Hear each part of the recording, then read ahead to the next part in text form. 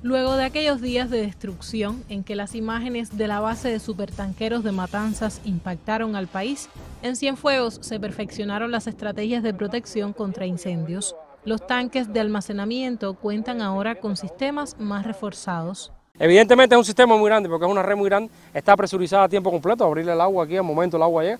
Hemos hecho un grupo de ejercicio complejizándolo mucho más a partir de la experiencia vivida porque evidentemente eh, estas experiencias le dejan a uno muchas, las vivencias que hay son tremendas. Bueno, con eso nosotros hemos logrado de, modificar los simulacros de avería, con la preparación de los bomberos, teniendo en cuenta que también tenemos un déficit ahora en el tema de las técnicas contra incendios, que es un punto de atención que lo tenemos identificado.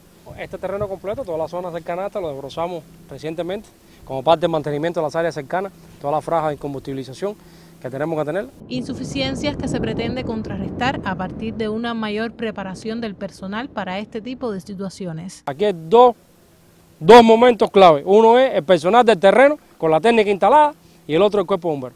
La sinergia ahí tiene que ser eh, muy fuerte, si no, se nos complica. Y un tanque de esto, lo que no se nos puede prender. A la vez que se nos prende un tanque, aunque tiene las condiciones para apagarlo, pero ya es mucho más complejo ya. Hoy nosotros hemos tenido eventos menores dentro de refinería, que lo hemos logrado sofocar rápido, el sistema ha funcionado y ha funcionado bien, y lo hemos llevado al resto de los tanques, donde quizás incluso las situaciones operativas sean más complicadas aquí. En estos siete tanques tenemos espaciamiento, los cubetos hoy tienen sus condiciones de contención.